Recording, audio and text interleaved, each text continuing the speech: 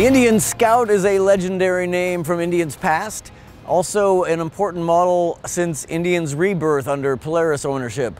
83% of Scout owners are new to the Indian brand, so it's the entryway into Indian.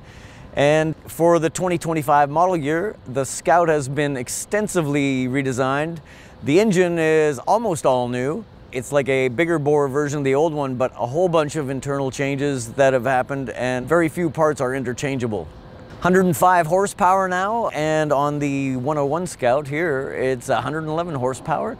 So we've got a, a lot uh, beefier motor. There's uh, the power band is beautiful. It's uh, got power everywhere. So from low down, and then it has a nice little burst up top too. Also new is the frame. The Scout used to have an aluminum frame. Aluminum sounds good, but the old aluminum frame had this awkward uh, section uh, behind the front wheel. They went to a tubular steel frame now and you can probably see here, the radiator is kind of hidden in between the down tubes. And so by changing from that bulky aluminum frame to this one, the bike looks more svelte. There's a, uh, less visual weight, they say, and it's true.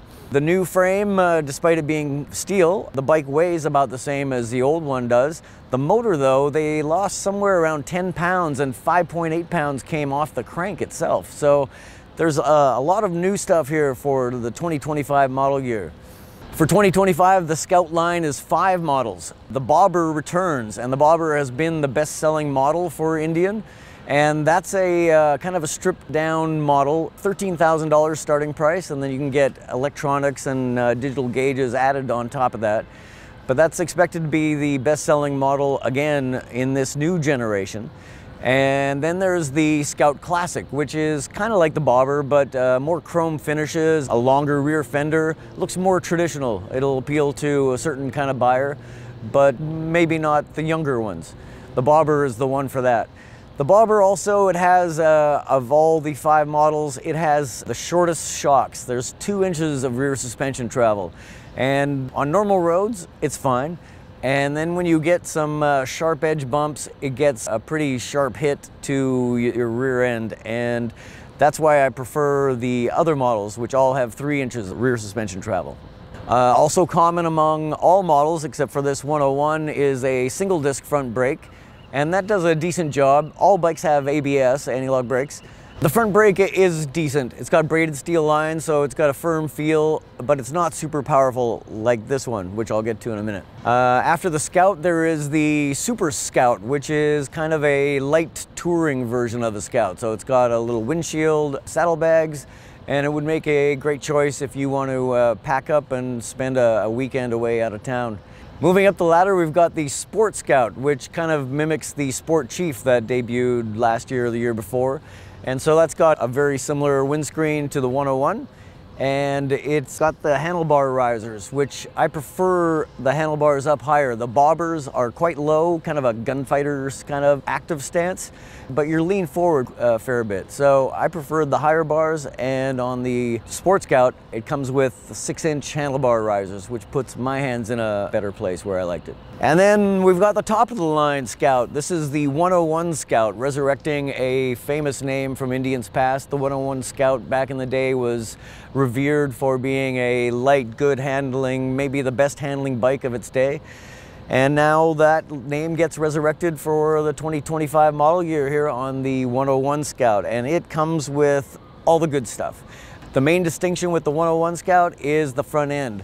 This uh, fork and front brake setup is essentially what was used on the FTR 1200. So it's got a, an inverted design instead of the conventional uh, right side up forks of all the other Scout models. And so it's a little beefier and then fitted to it are a set of dual disc brakes with Brembo calipers. And the improvement in braking power on this setup is so much superior to the regular ones. Most people aren't really charging down canyons and uh, biting deeply into brakes, so that's fine for them. But if you're the sporty rider, you definitely want the 101 Scout because these brakes are terrific and the suspension, uh, it's fully adjustable. So the fork compression, rebound, and preload, and the rear shocks too. Nice compression adjusters right here and rebounds just underneath. And uh, it was nice to dial it in a little bit. I added some rebound, took uh, the rebound all the way up, and uh, I found a lot better control with this suspension on the 101. The 101 also comes fully equipped. Other models, uh, you get uh, added uh, the technology package and technology plus. The 101 comes with all that stuff standard.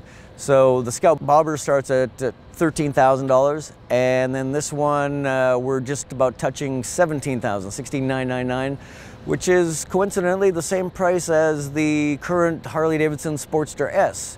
So identically priced motorcycles, a different kind of motorcycle though. The Sportster S, it's got the Revolution Max motor. It's a great, powerful motor, smooth. But I kind of prefer the character of this one. This has more of a, an earthy kind of vibration and coarseness to it that uh, you don't get on the RevMax. And uh, this one with 111 horsepower, it's uh, got nearly as much as the Harley Davidson, and it just feels more like a cruiser motor rather than a normal motorcycle motor. So for me, uh, I would definitely pay the extra dollars for the 101 because it comes with all the good stuff that I like. And if you're a sporty rider, that should be your choice too. So that's just a little short recap of my ride, which was two days of riding on all five models. For the full story, please go to American Rider Magazine and uh, check out all the information there. And if you like this video, definitely subscribe to the channel and please comment so we know what you think of the new Indian Scouts. Also about the Indian Scouts, we've got two videos with the engineer Ben Lindemann and the designer Ola Stenegard. So uh, you can probably click uh, on one of these boxes over here and see those videos because that gives you some real insight into what it took to bring the Indian Scout to the 2025 model year.